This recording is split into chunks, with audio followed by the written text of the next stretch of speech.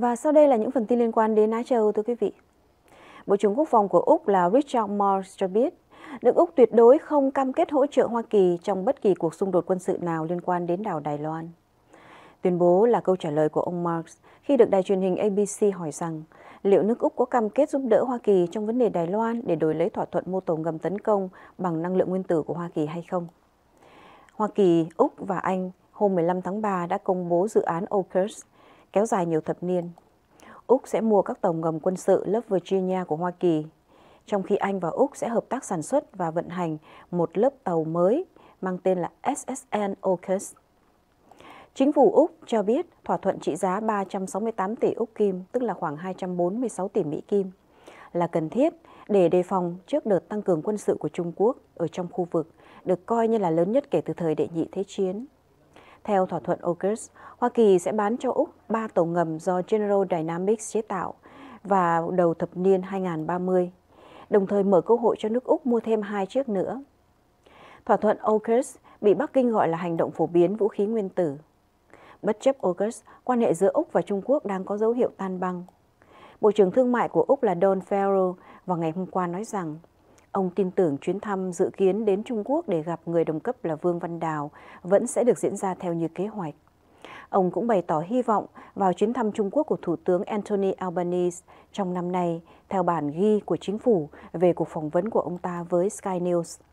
Thỏa thuận AUKUS sẽ bắt đầu với khoản đầu tư 6 tỷ Úc Kim, tương đương với khoảng 4 tỷ Mỹ Kim trong vòng 4 năm tới, để nhằm mở rộng căn cứ tàu ngầm và xưởng đóng tàu ngầm của Úc, đồng thời đào tạo nhân công lành nghề. Okinawa diễn tập di tản 100.000 cư dân và du khách. Chính quyền của đảo Okinawa tại Nhật Bản vào ngày 19 tháng 3 đã thực hiện cuộc diễn tập tình huống khẩn cấp đầu tiên với mục tiêu di tản hơn 100.000 người tại những khu vực gần đảo Đài Loan.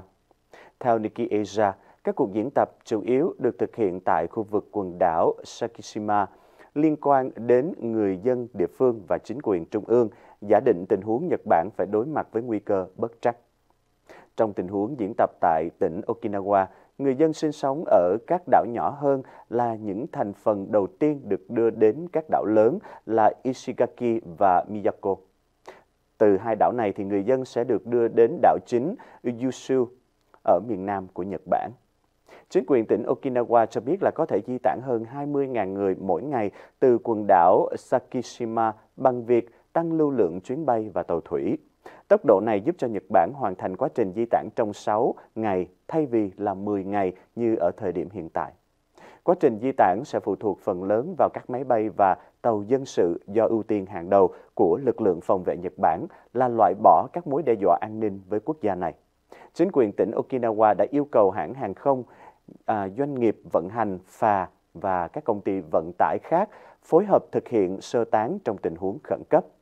Tuy thực hiện cuộc diễn tập tại khu vực gần đảo Đài Loan, Thống đốc tỉnh Okinawa là Danny Tamaki đã cho biết cuộc sự kiện này không được thiết kế cho bất kỳ cuộc khủng hoảng nào cụ thể và chỉ tập trung vào việc đẩy mạnh hợp tác nhằm bảo đảm an toàn cho người dân. Trước tỉnh Okinawa trong năm 2023, một số khu vực khác của Nhật Bản như là Osaka và Kyoto cũng đã tổ chức các cuộc diễn tập tương tự với sự phối hợp với chính quyền trung ương.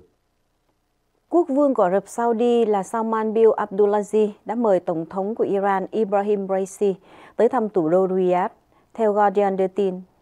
Mohammad Jamshidi là phó tránh văn phòng của Tổng thống Iran về các vấn đề chính trị, đã cho biết ở trên Twitter rằng lời mời nói trên đã được đưa ra trong một bức thư của Quốc vương Ả Rập Saudi gửi đến Tổng thống Iran. Trong thư, Quốc vương Ả Rập Saudi cũng ca ngợi những thỏa thuận mới đạt được giữa hai nước anh em và kêu gọi đôi bên hợp tác chặt chẽ hơn trong vấn đề kinh tế và các vấn đề khu vực. Tổng thống ờ, Iran ông Raisi đã hoan nghênh lời mời và đồng thời khẳng định là Iran sẵn sàng mở rộng hợp tác với Ả Rập Saudi. Iran và Ả Rập Saudi vào hôm 13 tháng 3 thông báo rằng họ nối lại quan hệ sau khi được Trung Quốc làm trung gian tổ chức các cuộc đàm phán giữa hai nước. Iran là quốc gia có đông người Hồi giáo thuộc về dòng Shia sinh sống, trong khi đó Ả Rập Saudi là nơi nhánh Hồi giáo thuộc dòng Sunni chiếm ưu thế, đã bất hòa trong nhiều năm qua.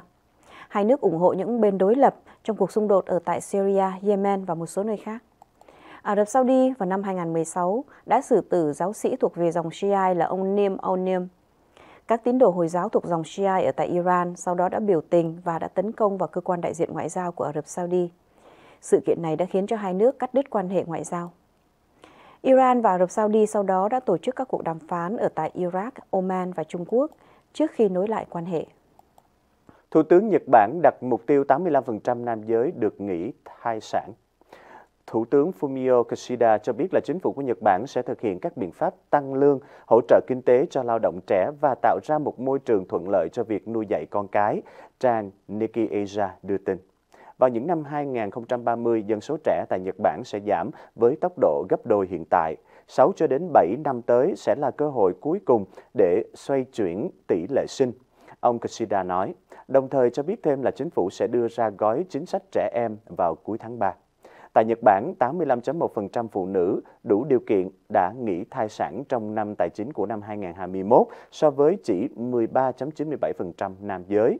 Nhiều người lao động nói rằng là họ lo ngại việc nghỉ phép có thể làm tăng khối lượng công việc cho đồng nghiệp. Thủ tướng Kishida cũng cho hay là chính phủ đặt mục tiêu 50% nam giới có con được nghỉ thai sản vào năm tài chính 2025 và 85% vào năm 2030. Để đạt được mục tiêu này thì ông đề nghị các biện pháp bao gồm cung cấp khoản trợ cấp cho các công ty khuyến khích người cha nghỉ phép, đồng thời cam kết trả nhiều tiền hơn khi cả cha và mẹ nghỉ phép. Bằng cách này thì các cặp vợ chồng có thể chia sẻ việc chăm sóc con cái và công việc gia đình trong khi tác động đến à, thu nhập và sự phát triển nghề nghiệp được giảm thiểu.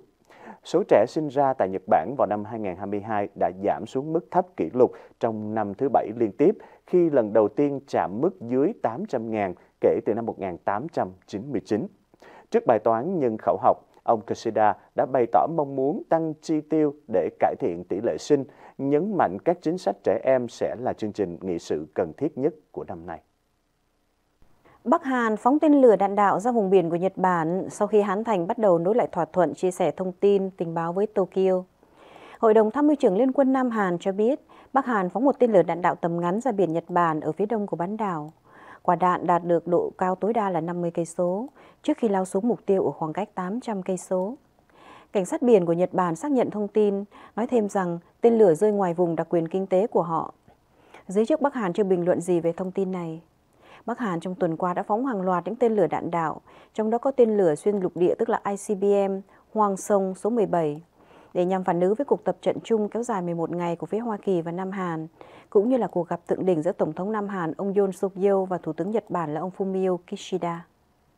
Ấn Độ, Thái Lan, Việt Nam vựa lúa thế giới bị đe dọa vì xài nước ngầm quá mức. Các chuyên gia cảnh báo vựa lúa của thế giới bao gồm có Ấn Độ, Thái Lan và Việt Nam, ba nước xuất cảng gạo hàng đầu có thể gặp nguy hiểm vì thiếu nước ngầm. Các vùng đồng bằng rộng lớn tại Việt Nam, Bangladesh và Miến Điện những nước sản xuất lúa gạo lớn sẽ phải đối mặt với tình trạng xâm nhập mặn và lũ lụt nhiều hơn.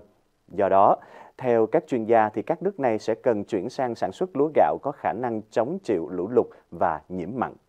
Lũ lụt cũng có thể xảy ra nhiều hơn tại các đồng bằng Indo-Gangetic do sự gia tăng băng tan ở dãy Himalaya. Ông Taman Shanmugaratam, đồng chủ tịch của Ủy ban Toàn cầu về Kinh tế nước, đồng thời là Bộ trưởng cấp cao và Bộ trưởng điều phối của Singapore, cảnh báo. Đây không phải là sự kết thúc của việc trồng lúa ở châu Á, nhưng các tập quán canh tác hàng thế kỷ đã đạt đến giới hạn của chúng. Ông Taman cho rằng là nông dân phải được khuyến khích áp dụng các biện pháp tưới tiêu thông minh giúp giảm việc sử dụng nước bằng cách đo lường một cách khoa học và sản xuất lúa chịu lũ và chịu hạn.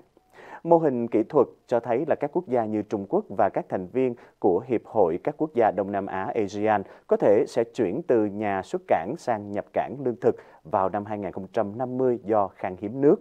Trên toàn cầu thì khoảng 700 tỷ Mỹ Kim do các nhà nước tài trợ trợ cấp đang khắc phục tình trạng à, tiêu thụ nước ngầm quá mức và các hành vi khác gây nguy hiểm cho môi trường, theo Ủy ban Kinh tế nước toàn cầu cho hay. Các chuyên gia về khí hậu cho biết là châu Á dễ bị tổn thương hơn các châu lục khác do mật độ dân số cao và cơ chế đối phó thấp hơn đối với hầu hết dân số. Vâng, kết thúc quý vị, vừa rồi là những bản tin liên quan đến châu Á. Xin quý vị đừng rời khỏi màn hình của Sài Gòn TV, chúng tôi sẽ trở lại với phần tin Việt Nam.